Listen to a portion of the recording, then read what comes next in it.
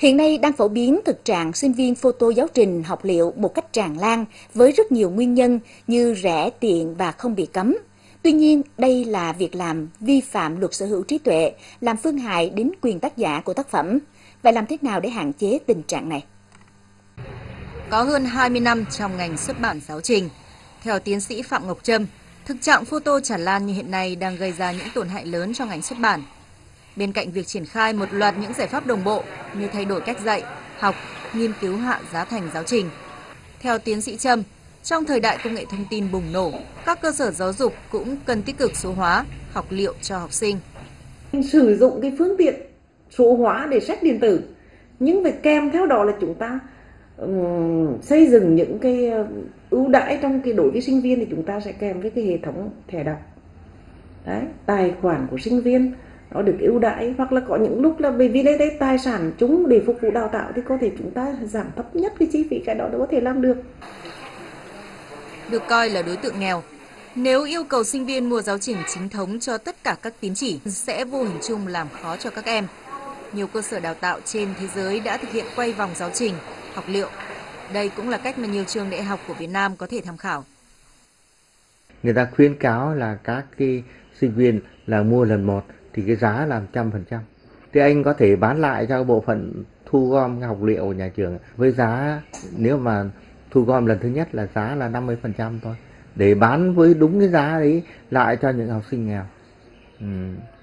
thế còn nếu lần thứ hai ấy, hoặc lần thứ, thứ ba trở đi thì coi như là cho không.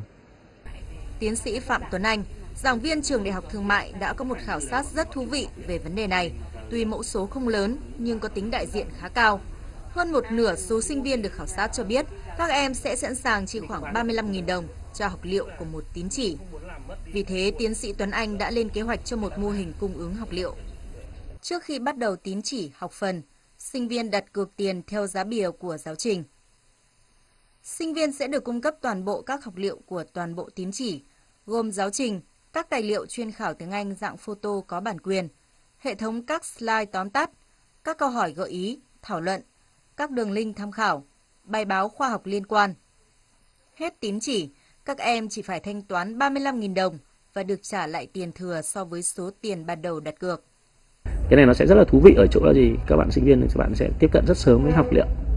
Thế và nhờ cái nguồn thu từ khoảng chúng tôi tính cái quy mô khoảng 3.000 sinh viên cho một học phần một năm thì nó tạo ra cho mỗi một nhà khoa học tham gia vào biên soạn các cái học liệu này thu nhập khoảng 30 triệu một năm.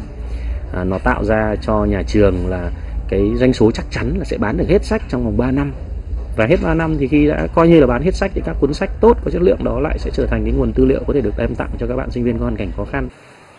Nhiều giải pháp đã được đề xuất, chủ yếu nhằm đưa giáo trình giá rẻ hơn đến với sinh viên.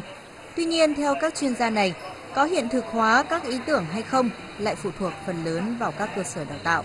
Bởi thực tế, gần như rất ít trường đại học cao đẳng yêu cầu sinh viên không được sử dụng giáo trình photo cả quyền. Trong khi đó, bộ phận thu gom, cung ứng học liệu cho sinh viên tại các trường cũng đang bị bỏ ngỏ. Cũng từ thời gian này, đã có ít nhất 5 vụ tai nạn giao thông nghiêm trọng xảy ra. Trong đó đoàn qua địa phận thành phố Bảo Lộc và huyện Di Linh có 3 vụ nghiêm trọng làm 3 người chết. Nguyên nhân dẫn đến tai nạn thường xuyên trên tuyến quốc lộ 20 chính là ý thức tham gia giao thông của người điều khiển.